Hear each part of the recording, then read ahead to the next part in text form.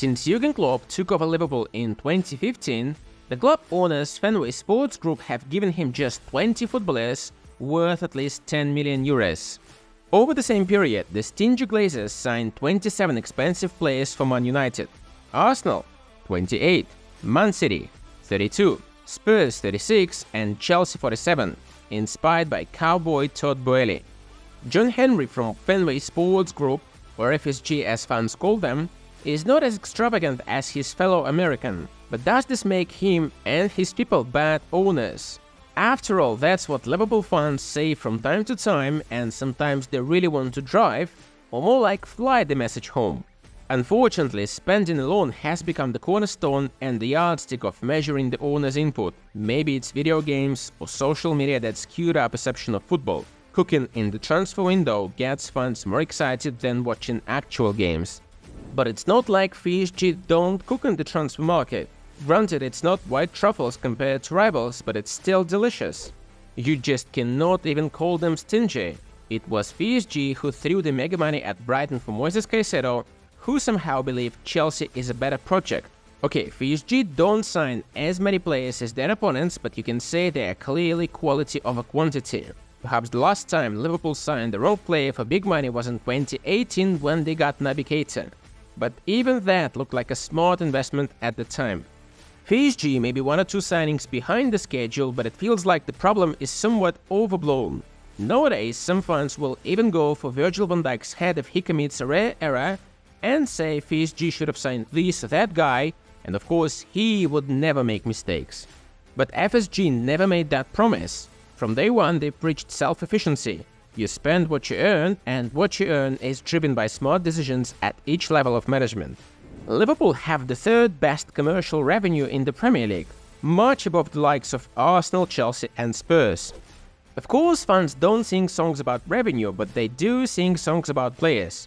And transfer money doesn't magically appear in your coffers, unless you have a bunch of fake sponsors in Asia. At the end of the day, the way FSG operate translates into success on the pitch.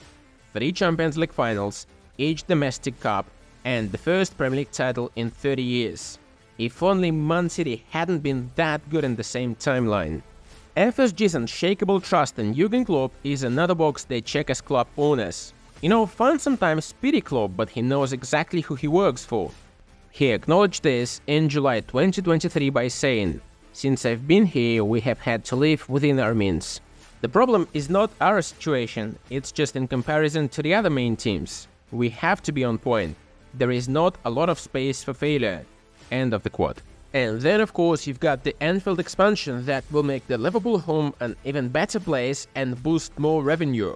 Don't forget that the club also built a new training ground not long ago, so that's a lot of money. FSG aren't financing the expansion out of their pocket, which once again aligns with their strategy. You pay what you earn.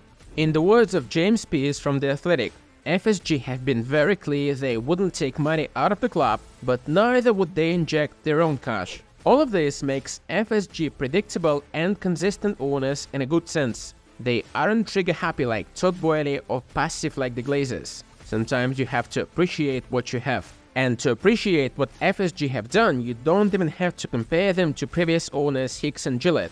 You just have to look at the Premier League table and the Champions League knockout stage bracket. Every year, Liverpool are always there competing. Even when Gary Neville sends FSG his warnings, Jurgen Klopp's team proves him and everybody else wrong.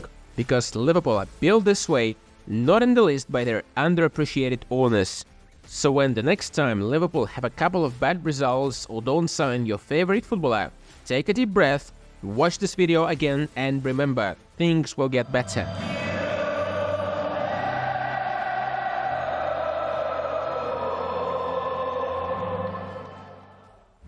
If you enjoyed this episode, please like it so more people can watch it.